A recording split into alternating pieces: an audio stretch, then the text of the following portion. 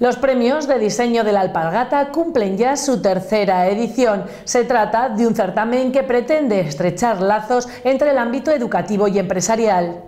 Se trata de un concurso organizado por la Asociación de la Alpargata de Cervera, la ADER y el Ayuntamiento de Cervera del Río Álama y cuenta con la participación de alumnos de la Escuela Superior de Diseño de La Rioja, el Instituto Virgen de Vico de nuestra ciudad y el Instituto Torre de Elda y la Escuela Superior de Diseño de Madrid. En total se han inscrito 98 alumnos. En esta ocasión, además, se ha celebrado un taller de formación de cosido de la alpargata en la sede de la Escuela Superior de Diseño de La Rioja.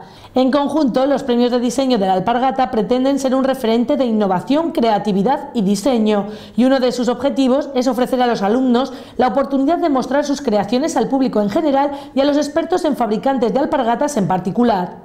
Desde las instituciones educativas y con sus respectivos profesores, los alumnos crearán sus proyectos de diseño de alpargatas de manera individual. Cada profesor elegirá sus dos mejores alumnos que defenderán sus diseños ante el jurado en un acto que tendrá lugar el 14 de mayo en el Museo de la Alpargata en Cervera del Río Alama. El jurado, compuesto por varios empresarios alpargateros, seleccionará los dos mejores proyectos valorando su originalidad, creatividad, diseño y calidad de la producción, entre otras cuestiones. Los dos mejores estudiantes recibirán como premio el viaje y entradas a la Feria de Milán, MICAN, que se celebrará del 1 al 4 de septiembre de 2016.